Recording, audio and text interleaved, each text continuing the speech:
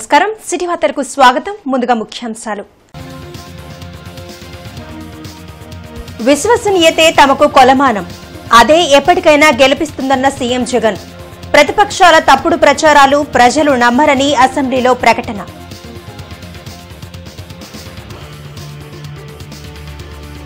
ధరల పెరుగుదల పన్నుల భారంపై టీడీపీ వాయిదా తీర్మానం. తిరస్కరించిన స్పీకర్ తమ్మినేని టీడీపీ సభ్యుల నిరసన ఒక్కరోజు పాటు సస్పెన్షన్.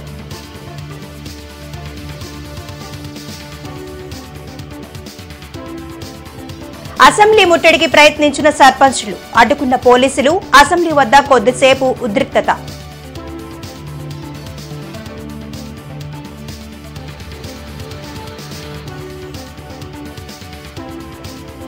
తూర్పులో జైహో బీసీ కార్యక్రమం. వైసీపీ ప్రభుత్వం బీసీలను మోసం చేసిందన్న నసీర్ అహ్మద్.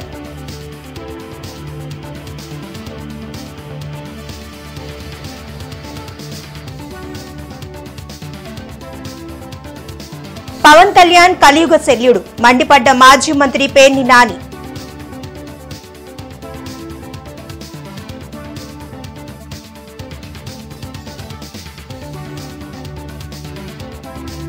పశ్చిమలో ఓట్ల అవకతవకలు. వాలంటీర్లు ఓట్ల కార్డులు సేకరిస్తున్నారని టీడీపీ ఆరోపణలు.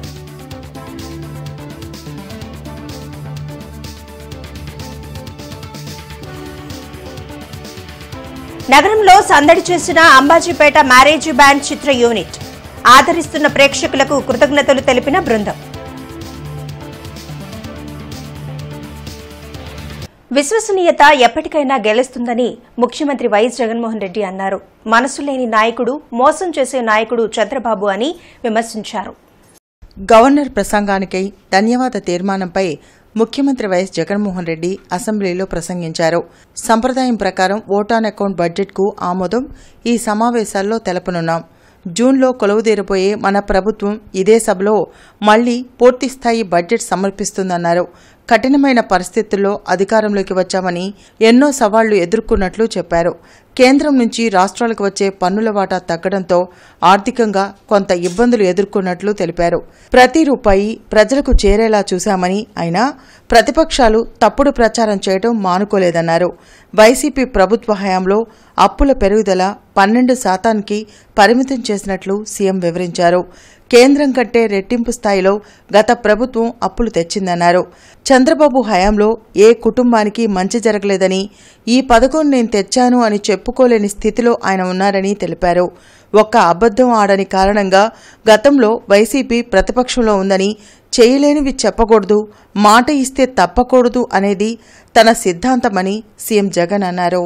రెండు వేల పద్నాలుగులో అధ్యక్ష మనకు చంద్రబాబు నాయుడు గారి కూటమికి తేడా వాళ్ళందరూ కలిసి మన మీద దాడి చేసినారు. మనం ఒక్కళ్ళమే ఇటువైపు నుండి మనం పోటీ చేసినాం. అయినా కూడా వాళ్ళందరికీ నలభై ఆరు శాతం వాళ్ళకు వస్తే నలభై ఐదు శాతం మనకు వచ్చింది దాదాపుగా. మనం కూడా ఎనభై ఏడు వేల ఆరు వందల పన్నెండు కోట్ల రూపాయల రుణమాఫీ. చంద్రబాబు నాయుడు చెప్తున్నాడు కదా మనం కూడా చెప్పేద్దాము చెప్పేస్తే గవర్నమెంట్లోకి వచ్చేస్తాం మన సంగతి మళ్ళీ చూస్తాంలే అని చెప్పి చాలా మంది నాతో అన్నారు. చెయ్యలేనిది చెప్పకూడదు మాట ఇస్తే తప్పకూడదు అని చెప్పి. ఆ ఒక్క మాట నేను ఆ ఒక్క మాట నేను అబద్ధం చెప్పని కారణంగా ఒక్క పర్సెంట్తో ఐదు సంవత్సరాలు నేను ప్రతిపక్షంలో కూర్చోవాల్సి వచ్చింది అధ్యక్ష ఈరోజు నువ్వు ప్రతిపక్షంలో కూర్చున్నావు కాబట్టి మళ్ళీ ఆ రోజు మళ్ళీ రీవిజిట్ చేసి మళ్ళీ అబద్ధం నువ్వు చెప్తావా అని అడిగితే ఈ రోజుకి కూడా నేను చెప్తాను అధ్యక్ష. నా నోట్లో నుంచి అబద్ధాలు రావనే చెప్తాను ఈరోజు నేను గర్వంగా కూడా చెప్తా ఉన్నా అధ్యక్ష. రెండు వేల పద్నాలుగు రెండు వేల పంతొమ్మిది నుంచి ఇరవై మూడు. ఈ ఐదు సంవత్సరాలలో చెప్పిన మేనిఫెస్టో ఏదైతే రిలీజ్ చేసినామో అందులో తొంభై తొమ్మిది శాతం హామీలను చిత్తశుద్ధిగా మేనిఫెస్టోను ఒక బైబిల్గా భావించి ఒక ఖురాన్గా భావించి ఒక భగవద్గీతగా భావించి నిబద్ధతతో తొంభై తొమ్మిది శాతం హామీలను అమలు చేసి ఆ చేసిన హామీలను ఆ మేనిఫెస్టోను ప్రతి ఇంటికి కూడా తీసుకొని వెళ్ళి చూపించి ప్రజల చేతనే మార్కులు ఇచ్చి ప్రజలే శభాషను అనిపించే విధంగా ప్రతి ఎమ్మెల్యేను గడప గడపకు తిప్పుతా ఉన్న ప్రభుత్వం కూడా మనదే అని చెప్పుకుంటారు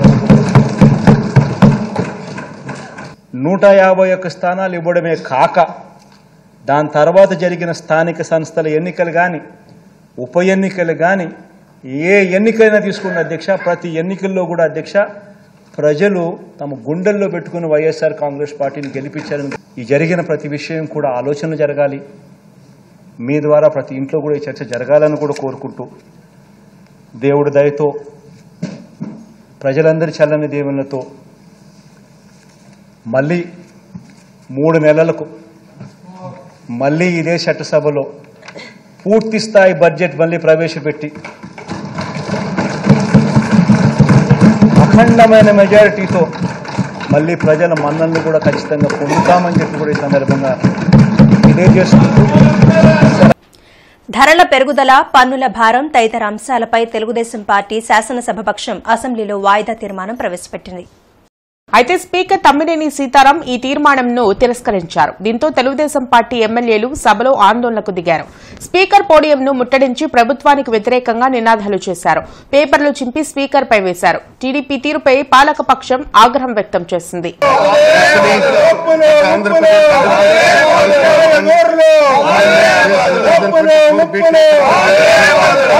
సభలో ఉండడం ఇష్టం లేకపోతే టీడీపీ సభ్యులు బయటకు వెళ్ళిపోవచ్చని మంత్రి అంబటి రాంబాబు అన్నారు. కావాలని గందరగోళం సృష్టించి సభ సాంప్రదాయాలకు భంగం కలిగించాలని చూస్తే సహించేది లేదంటూ సున్నితంగా హెచ్చరించారు. కాగితాలు చింపి స్పీకర్ మీద వేసి అవమానకరంగా మాట్లాడటం అవమానకరంగా జెక్చర్స్ ఇవ్వటం పట్ల తీవ్ర నిరసన వ్యక్తం చేస్తున్నాం. మీరు మర్యాద తప్పుతున్నారు సభా సాంప్రదాయాలు తప్పుతున్నారు. ఇలా సభా సాంప్రదాయాలు తప్పితే మేము కూడా తప్పవలసి ఉంటుంది అనేది గుర్తుపెట్టుకోండి. కాగితాలు చించి ఆ పుస్తకాలు చించి మీరు వేసేటటువంటి ప్రయత్నం చేస్తున్నారు. ఇది మర్యాద కాదు. అసలు మీరు సభలో ఉండదలుచుకున్నారా? వెళ్ళదలుచుకున్నారా? వెళ్ళదలుచుకుంటే చెప్పండి. మీ అంతటా మీరు వెళ్ళండి. ఒకటి లేదు సస్పెండ్ చేయించుకుంటారా? చేయించుకోండి. లేదు అలా కూడా వెళ్ళరు. మార్షల్తో నెట్టించుకుంటారా? నెట్టించుకోండి. Options are yours. అంతే తప్ప ప్రతిసారి అడ్డం వచ్చి కాగితాలు చింపి అక్కడ ఉన్నటువంటి అమూల్యమైనటువంటి కాగితాలు చింపి మీరు స్పీకర్ మీద వేయటాన్ని మేము నిరసిస్తున్నాం అది తప్పుపడుతున్నాం అది సాంప్రదాయం కాదని చెప్తున్నాం. అలా చేయటం వల్ల మేము రెచ్చిపోవాల్సిన పరిస్థితి ఏర్పడుతుందని కూడా సున్నితంగా హెచ్చరిస్తున్నాం. జాగ్రత్త అని కూడా చెప్తున్నాం. టీడీపీ సభ్యుల తీరు మారకపోవడంతో స్పీకర్ తమ్మినేని సీతారాం ఒకరోజు పాటు టీడీపీ ఎమ్మెల్యేలను సభ నుంచి సస్పెండ్ చేస్తున్నట్లు ప్రకటించారు.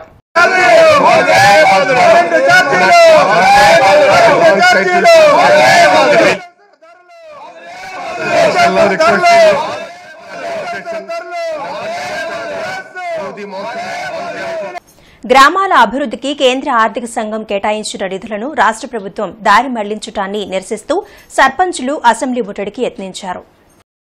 ఉపాధి హామీ నిధులను చట్ట ప్రకారం పంచాయతీలకు ఇవ్వాలని సర్పంచ్లు కోరారు.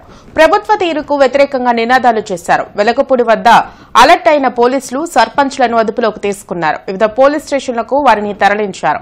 దీంతో కొంతసేపు అసెంబ్లీ వద్ద ఉద్రిక్తత ఏర్పడింది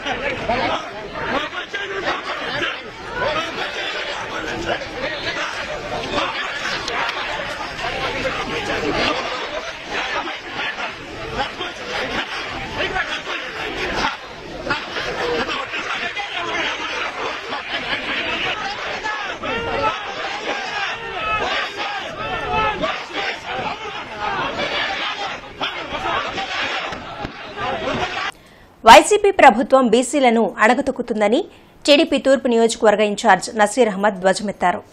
యాదవ నాయి బ్రాహ్మణ కుమ్మర కులాలకు చెందిన నాయకులు కార్యకర్తలతో మంగళవారం పాతగుంటూరులో నసీర్ అహ్మద్ జైహో బీసీ కార్యక్రమాన్ని నిర్వహించారు. బీసీలకు సముచిత స్థానం కల్పించిన ఏకైక పార్టీ టీడీపీ అన్నారు. రానున్న ఎన్నికల్లో చంద్రబాబును ముఖ్యమంత్రిని చేసి బీసీల ఆత్మగౌరవాన్ని కాపాడుకోవాలని పిలుపునిచ్చారు. కార్యక్రమంలో బీసీ నాయకులు తాళ్ళ వెంకటేష్ యాదవ్ నాగేశ్వరరావు వెంకటేష్ యాదవ్ అడకా శ్రీనివాస్ పేరయ్య తదితరులు పాల్గొన్నారు.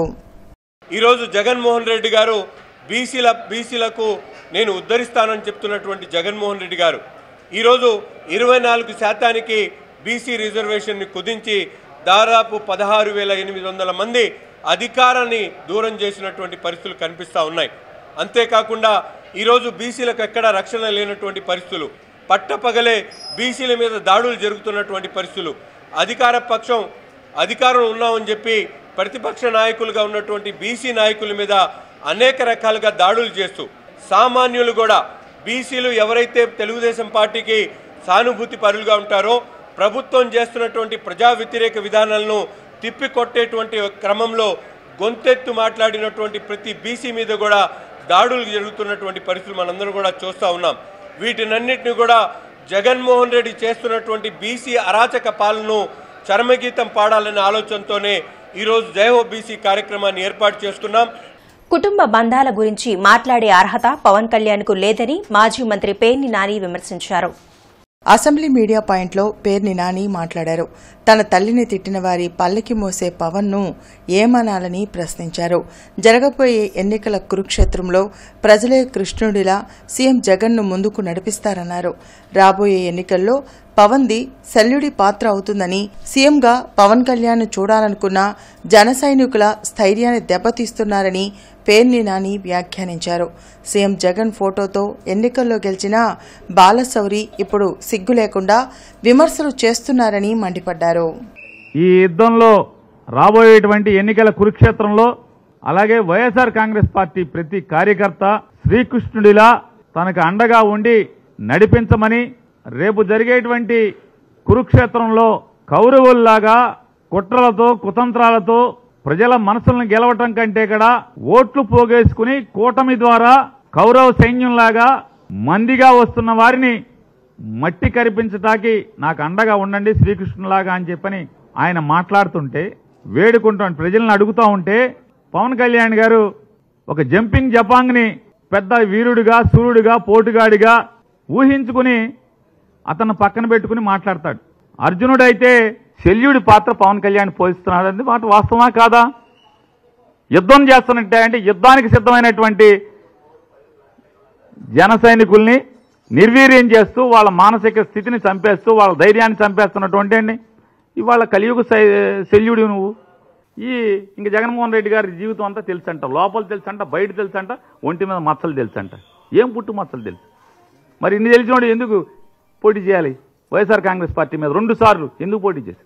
నిత్యావసరాల ధరల పెరుగుదలపై టీడీపీ ఎమ్మెల్యేలు ఎమ్మెల్సీలు నిరసన ర్యాలీ చేపట్టారు. వెలగపూడి ఫైర్ స్టేషన్ నుంచి అసెంబ్లీ వరకు ఈ ర్యాలీ నిర్వహించారు. ధరలు పన్నులు ఛార్జీల భారంతో సామాన్యుడు విలవిల అంటూ ప్లకార్డులు ప్రదర్శించారు.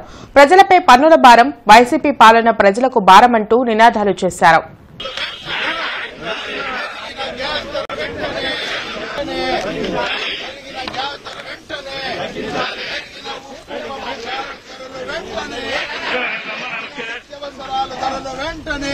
ఇటీవల విడుదల చేసిన ఓటర్ల జాబితాలో మంత్రి విడుదల రజని అక్రమాలకు పాల్పడుతున్నారని టీడీపీ పశ్చిమ నియోజకవర్గ ఇన్ఛార్జ్ కోవెలముడి నాని ఆరోపించారు. జిల్లా తెలుగుదేశం పార్టీ కార్యాలయంలో కోవెలమూడి నాని మీడియాతో మాట్లాడారు. గత వారం రోజులుగా రజనీ తన నియోజకవర్గ పరిధిలోని టీడీపీ వాలంటీర్ల ద్వారా టీడీపీ అనుకూల ఓటర్ల గురించి పూర్తి సమాచారం సేకరించాలని హుకుం జారీ చేశారన్నారు. నూతన ఓటర్ల జాబితాలో ఒక వ్యక్తికి రెండు చోట్ల ఓటు హక్కు కల్పించడమే కాకుండా అక్రమంగా దొంగ ఓట్లను చేర్పించారని ఆరోపించారు. వైసీపీ పశ్చిమ నియోజకవర్గంలో దొంగ ఓట్లతో ఓట్ల తొలగింపుతో రాబోయే ఎన్నికల్లో గెలవాలని ప్రయత్నం చేస్తుందని ఎన్ని ప్రయత్నాలు చేసినా వైసీపీ ఓడిపోవడం ఖాయమన్నారు. కార్యక్రమంలో కార్పొరేటర్ బాబు కసుకుర్తి హనుమంతరావు తదితరులు పాల్గొన్నారు. దొంగ ఓట్లు చేరుస్తున్నారు నిజమైన ఓట్లు తీసేస్తున్నారు. దీన్ని మీరు ఎట్టి పరిస్థితిలో కూడా ప్రతి ఓటరు అప్రమత్తంగా ఉండి ఈ వైసీపీ అరాచకాలని తరివి కొట్టాలని చెప్పి మీ మీడియా సోదరుల ద్వారా తెలియజేస్తున్నాను. ఈ విధంగా మీరు సబ్ క్యాస్ట్ కానీ క్యాస్ట్ కానీ మొబైల్ నెంబర్ కానీ దయచేసి వాలంటీర్లకు ఇవ్వబాకండి. వాళ్ళు మీకు మీ మీద మీ ఓటు పోనీ తెలుగుదేశానికి వేస్తారంటే మీకు వచ్చే ఏమైనా ఉన్నా బెనిఫిట్స్ కూడా తీసేయడానికి సిద్ధంగా ఉన్నారు. ఈ క్యాస్ట్ వైజ్గా డివైడ్ చేస్తుంది ప్రభుత్వం.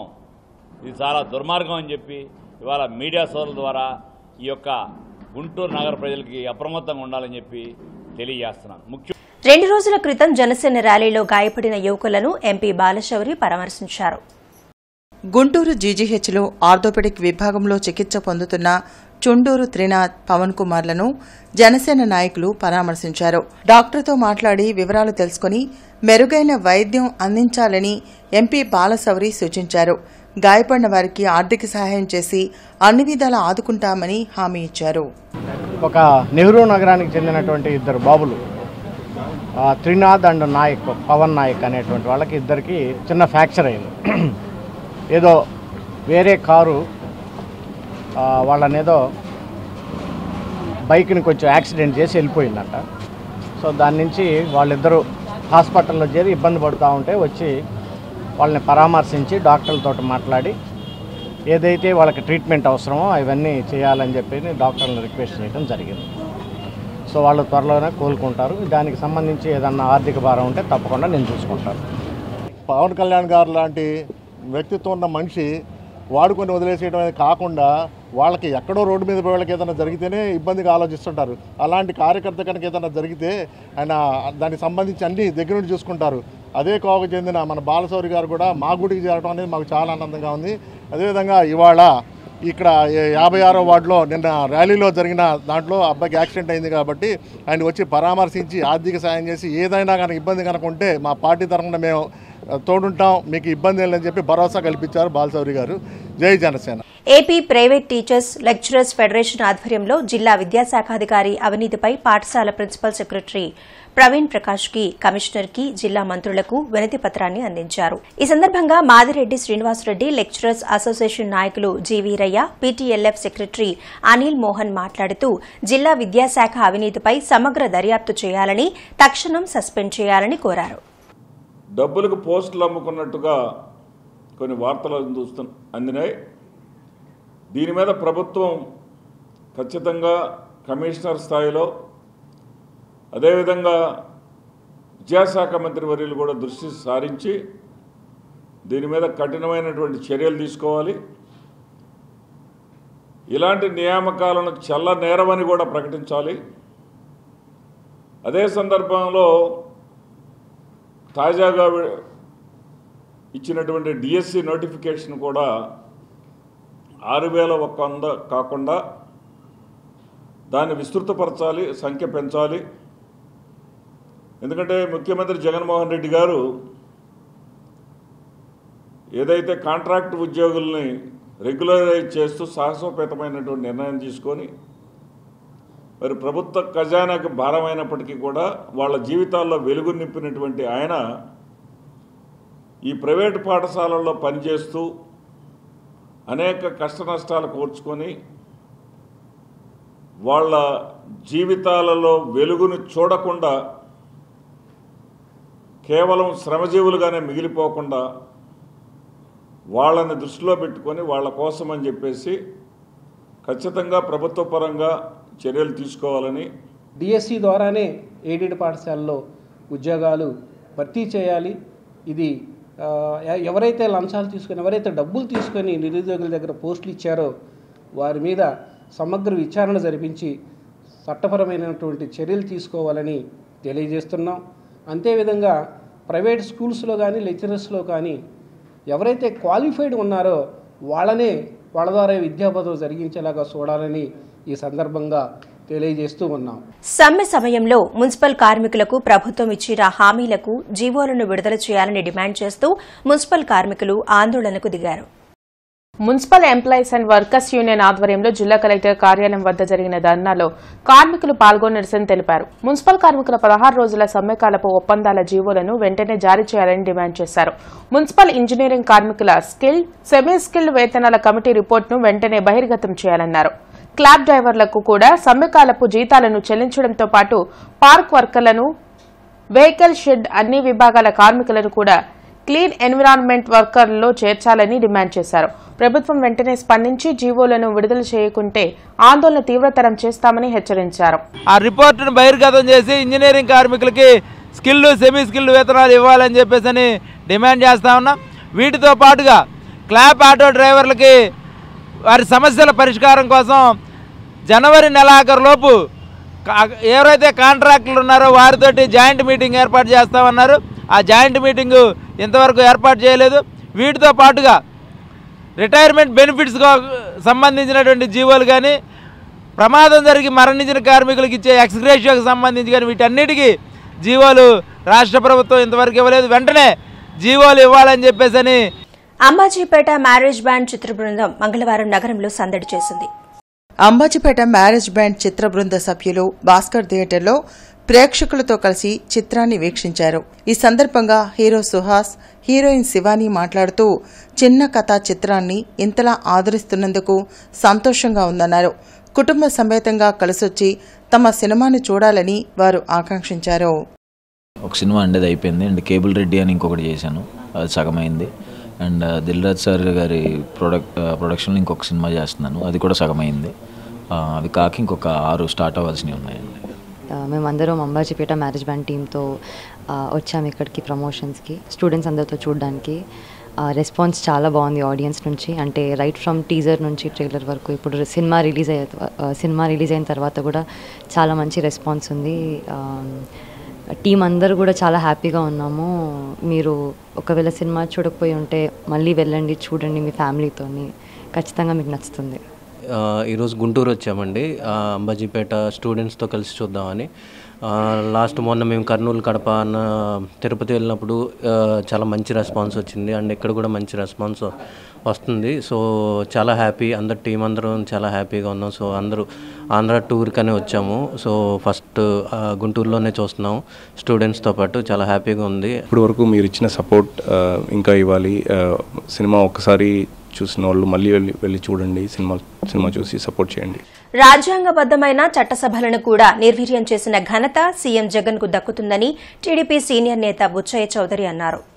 ప్రతిపక్షాలు గొంతు నొక్కడమే తప్ప ప్రజా సమస్యల పరిష్కారంకో చర్యని తీసుకుని అసమర్థ సీఎం జగన్ అంటూ తీవ్రంగా బుచ్చయ్య చౌదరి వ్యాఖ్యానించారు. వెలగపూడిలో ఆయన మీడియాతో మాట్లాడారు. గ్రామాల అభివృద్ధికి కేంద్ర సర్పంచులకు నిధులు ఇస్తే వాటిని దుర్వినియోగం చేయడమే కాకుండా సర్పంచులను అరెస్ట్ చేయడం దుర్మార్గమన్నారు. సీఎం జగన్ నియంత పాలనకు స్వస్తి చెప్పేందుకు ప్రజలు సిద్ధంగా ఉన్నారని రానున్న ఎన్నికల్లో వైసీపీ పతనం తప్పదని చెప్పారు. చేతగాని ముఖ్యమంత్రి స్థానిక సంస్థల్ని రాజ్యాంగం ప్రకారం బలోపేతం చేయాల్సి వస్తే వాటిని నిర్వీర్యం చేసి తన పార్టీ ప్రచార ఆర్భాటాల కోసం వాలంటీర్ వ్యవస్థను పెట్టి వాళ్ళ ద్వారా నీ పార్టీ ప్రచారం చేయిస్తా ఉన్నావు. ఇవాళ ఎవరైతే సేవా లక్ష్యంలో ఉండాల్సిన వాలంటీర్లు నీ పార్టీ అనుబంధ విభాగంగా మార్చి వాళ్ళ ద్వారా ఇవాళ పార్టీ ప్రచారాలు చేయిస్తా ఉన్నావు.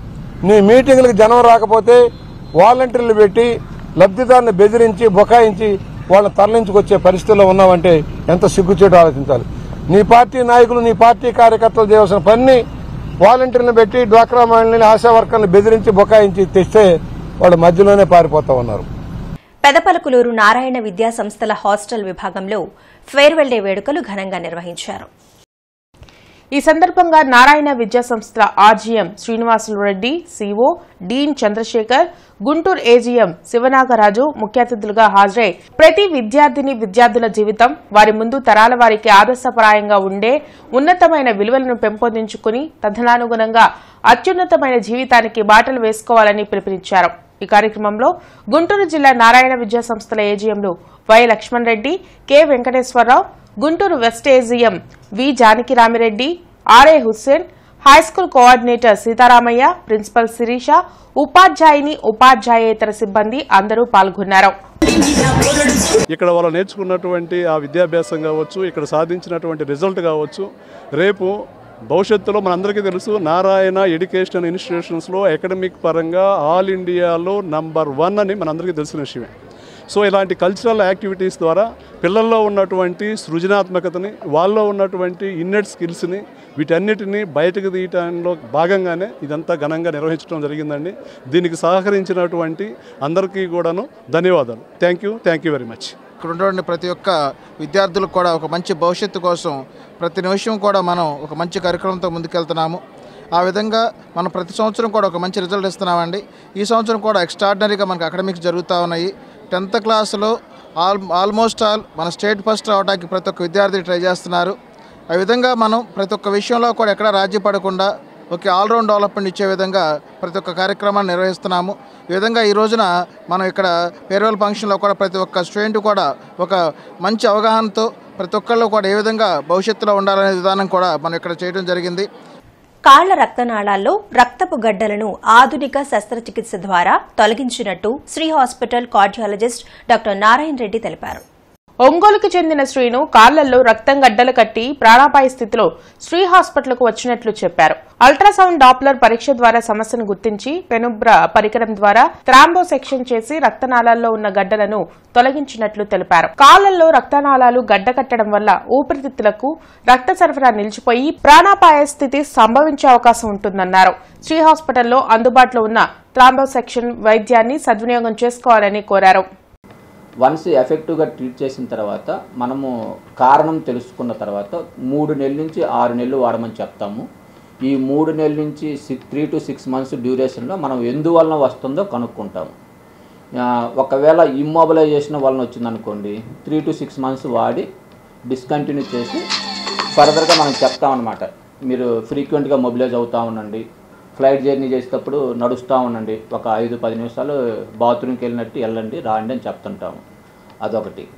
లేదా ఏదన్నా ఇప్పుడు క్యాన్సర్ రిలేటెడ్ వలన కానీ లేదా పుట్టుకుటో వచ్చేటటువంటి హైపర్ కోయాగ్లేబుల్ స్టేట్స్ అనమాట. అంటే కొన్ని రకాలైనటువంటి ప్రోటీన్స్ డెఫిషియన్సీ వలన కానీ లేదా మిగతా లివర్ రిలేటెడ్ ప్రాబ్లం వలన కానీ వీటన్నిటి వలన అయితే లైఫ్ లాంగ్ మెడిసిన్స్ వాడాల్సి వస్తుంది. ఫిబ్రవరి పదహారవ తేదీన జరగనున్న పారిశ్రామిక రైతు ఉద్యోగ సంఘాలు చేసే బంద్ను జయప్రదం చేయాలని ఏఐటీయూసీ రాష్ట నాయకులు వెలుగురి రాధాకృష్ణ కోరారు.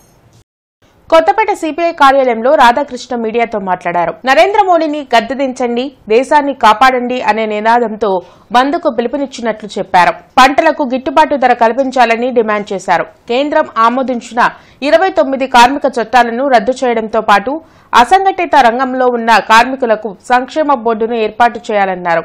కాంట్రాక్ట్ అవుట్సోర్సింగ్ ఉద్యోగులను పర్మనెంట్ చేయాలని డిమాండ్ చేశారు. ఫిబ్రవరి పదహారవ తేదీన జరగనున్న పారిశ్రామిక గ్రామీణ బంద్లో ప్రజలు పెద్ద సంఖ్యలో పాల్గొనాలని కోరారు.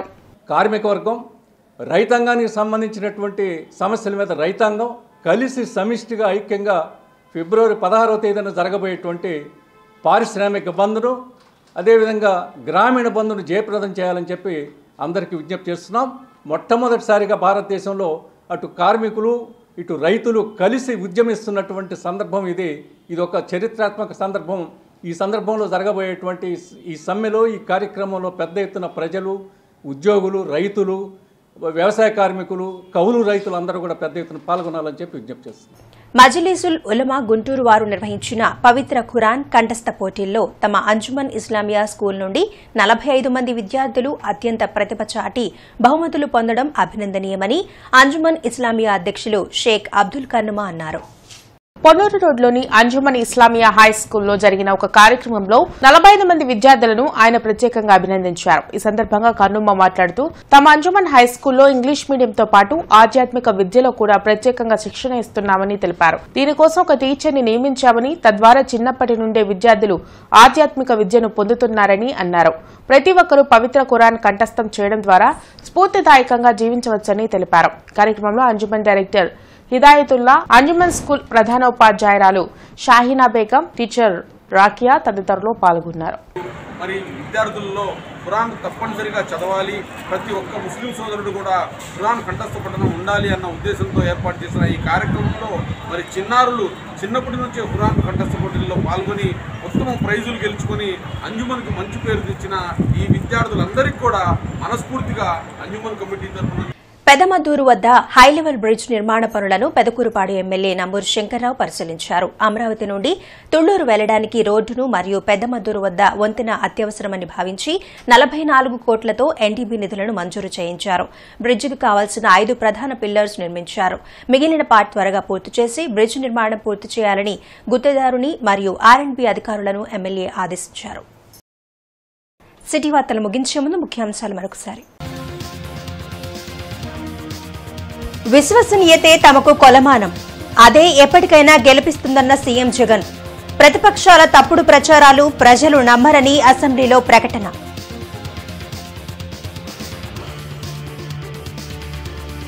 ధరల పెరుగుదల పన్నుల భారంపై టీడీపీ వాయిదా తీర్మానం. తిరస్కరించిన స్పీకర్ తమ్మినేని టీడీపీ సభ్యుల నిరసన ఒక్కరోజు పాటు సస్పెన్షన్.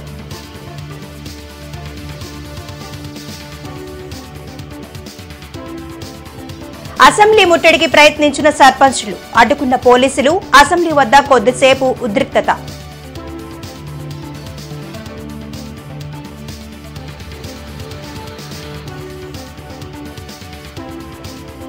తూర్పులో జైహో బీసీ కార్యక్రమం. వైసీపీ ప్రభుత్వం బీసీలను మోసం చేసిందన్న నసీర్ అహ్మద్.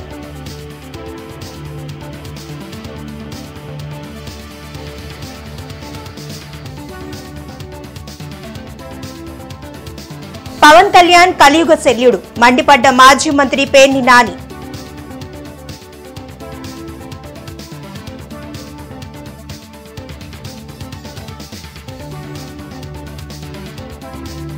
పశ్చిమలో ఓట్ల అవకతవకలు. వాలంటీర్లు ఓట్ల కార్డులు సేకరిస్తున్నారని టీడీపీ ఆరోపణలు.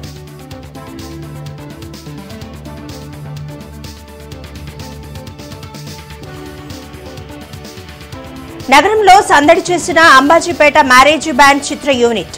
ఆదరిస్తున్న ప్రేక్షకులకు కృతజ్ఞతలు తెలిపిన బృందం. సిరివార్తలు సమాప్తం. నమస్కారం.